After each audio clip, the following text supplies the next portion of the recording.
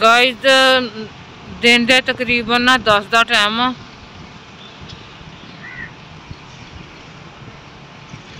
ਤੇ ਮੈਂ ਚੱਲੀਆਂ ਦਵਾਈ ਲੈਣ ਮੌਸਮ ਬਹੁਤ ਜ਼ਿਆਦਾ ਖਰਾਬ ਆ ਘਰੋਂ ਨਿਕਲਣ ਨੂੰ ਨਾ ਦਿਲ ਨਹੀਂ ਸੀ ਕਰਦਾ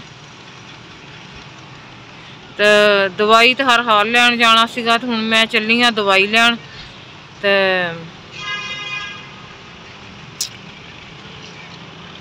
ਘਰੋਂ ਸਹੀ ਨਾਲ ਜਾਊਂਗੀ, ਅੱਗੇ ਜਾ ਕੇ ਤੇ ਫਿਰ ਮੈਂ ਰਕਸ਼ੇ ਤੇ ਬਹਿ ਕੇ ਨਾ ਦਵਾਈ ਲੈਣ ਚੱਲ ਜੂੰਗੀ ਕੋਈ ਸਹੀ ਦਾ ਟਾਈਮ ਨਹੀਂ ਹੈਗਾ ਨਾਲ ਜਾਣ ਦਾ।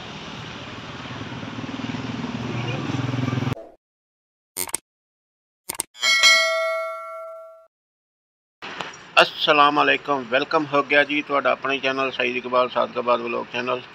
ਸਵੇਰ ਸਵੇਰ ਦਾ ਟਾਈਮ ਆ, ਅਸੀਂ ਹੁਣ ਨਾਸ਼ਤਾ ਕਰਕੇ ਨਿਕਲੇ ਸੀ। ਤੇ ਸਰਦੀ ਇੰਨੀ ਸ਼ਿੱਦਤ, ਸਰਦੀ ਦੀ ਸ਼ਿੱਦਤ ਇੰਨੀ ਸ਼ਦੀਦ ਸੀ ਕਿ ਬਸ ਕੀ ਪੁੱਛਦੇ, ਹੁਣ ਧੁੱਪ ਨਿਕਲੀ ਹੈ ਮੌਸਮ ਵੀ ਕੁਝ ਠੀਕ ਹੋ ਗਿਆ ਤੇ ਬਤੌਲ ਜਿਹੜੀ ਉਹ ਦਵਾਈ ਲੈਣ ਚਲ ਗਈ ਹੈ ਮੈਂ ਨਾਸ਼ਤਾ ਕੀਤਾ, ਨਾਸ਼ਤਾ ਕਰਨ ਤੋਂ ਬਾਅਦ ਹੁਣ ਜਿਹੜੀ ਵੀ ਰੁਟੀਨ ਹੋਏਗੀ ਉਹ ਤੁਹਾਨੂੰ ਸਾਡੇ ਘਰ ਦੀ ਬੈਕ ਸਾਈਡ ਤੇ ਇੱਟਾਂ ਕਾਫੀ ਜ਼ਿਆਦਾ ਆ ਰਹੀਆਂ, ਮੈਨੂੰ ਲੱਗਦਾ ਦੋ ਕਨਾਲ ਦਾ ਪਲਾਟ ਆ ਜਿਹੜੀ ਕੋਠੀ ਬਣੇਗੀ।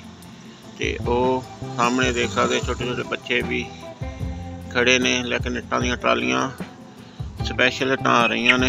ਇਹ ਘਰ ਬਣਿਆ ਬੈਕ ਸਾਈਡ ਤੇ। ਤੇ ਇਹਦੇ ਨਾਲ ਹੀ ਦੇਖ ਸਕਦੇ ਆ ਥੋੜੇ ਜੀ ਸਕਰੀਨ ਬੜੀ ਕਰਕੇ ਦਿਖਾਵਾਂਗੇ ਵੀ ਤੁਹਾਨੂੰ। ਇਹ ਦੇਖ ਸਕਦੇ ਆ ਇੱਟਾਂ ਜਮਾ ਹੋਈ ਜਾ ਰਹੀਆਂ ਵਾ। ਲੱਗਦਾ ਕੋਈ ਬੜੀ ਕੋਠੀ ਤਿਆਰ ਹੋਣ ਲੱਗੀ ਹੈ ਤਕਰੀਬਨ 2 ਕਨਾਲ ਜਿੰਨੀ ਜਗ੍ਹਾ ਹੈ, ਜਿਹਦੇ ਵਿੱਚ ਇਹ ਕੋਠੀ ਤਿਆਰ ਹੋਏਗੀ। ਅੱਗੇ ਜਿਹੜਾ ਵੀ ਸੀਨ ਹੋਏਗਾ ਤੁਹਾਡੇ ਨਾਲ ਸ਼ੇਅਰ ਕਰਾਂਗੇ। ਇਸ ਤਰਫ ਪਾਰਕ ਬਿਲਕੁਲ ਖਾਲੀ ਹੈ, ਸ਼ਾਮ ਦੇ ਟਾਈਮ ਬੱਚੇ ਆਉਂਦੇ ਨੇ। ਇਸ ਟਾਈਮ ਤੇ ਬਿਲਕੁਲ ਖਾਲੀ ਪਾਰਕ ਲੱਗਾ ਪਿਆ। ਉਸ ਤੋਂ ਬਾਅਦ ਦੇਖ ਸਕਦੇ ਹਾਂ ਜੀ। ਟਰਾਲੀ ਹੋ ਰਹੀ ਹੈ ਬੈਕ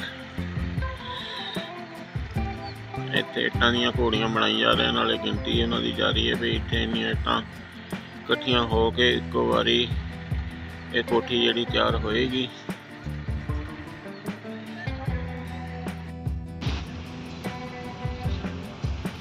ਗਾਇਜ਼ ਦਿਨ ਦੇ ਤਕਰੀਬਨ ਨਾ 10 ਦਾ ਟਾਈਮ ਆ।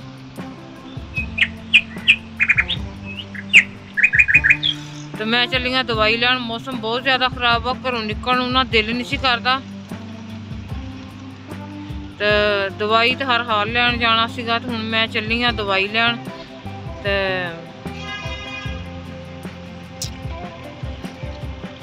ਘਰੋਂ ਸਹੀ ਨਾ ਜਾਊਂਗੀ, ਅੱਗੇ ਜਾ ਕੇ ਤੇ ਫਿਰ ਮੈਂ ਰਕਸ਼ੇ ਤੇ ਬਹਿ ਕੇ ਨਾ ਦਵਾਈ ਲੈਣ ਚੱਲ ਜੂੰਗੀ ਕੋਈ ਸਹੀ ਦਾ ਟਾਈਮ ਨਹੀਂ ਹੈਗਾ ਨਾਲ ਜਾਣ ਦਾ।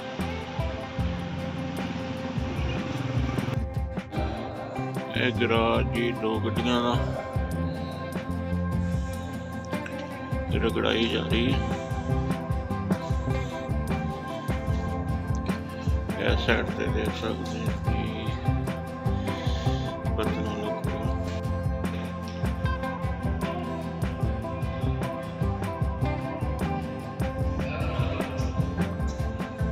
ਇਹ ਦਰਵਾਜ਼ਾ।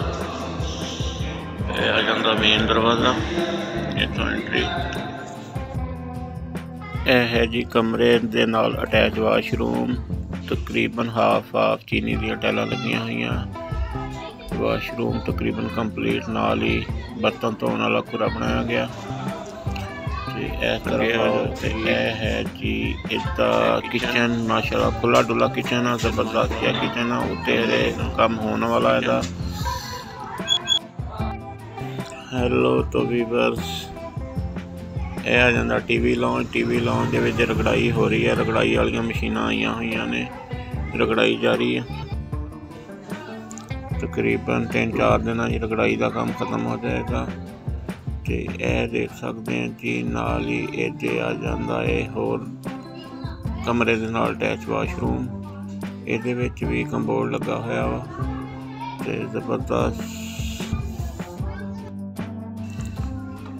ਇਹ ਤੀਸਰਾ ਕਮਰਾ ਆ ਜਾਂਦਾ ਹੈ। ਇਹ ਜੀ ਇਹਦੇ ਨਾਲ ਅਲਮੂਨੀਅਮ ਦਾ ਵਿੰਡੋ ਹੈ ਵਿੰਡੋ ਨਹੀਂ ਲੱਗਿਆ ਇਹਦੇ ਵਿੱਚ।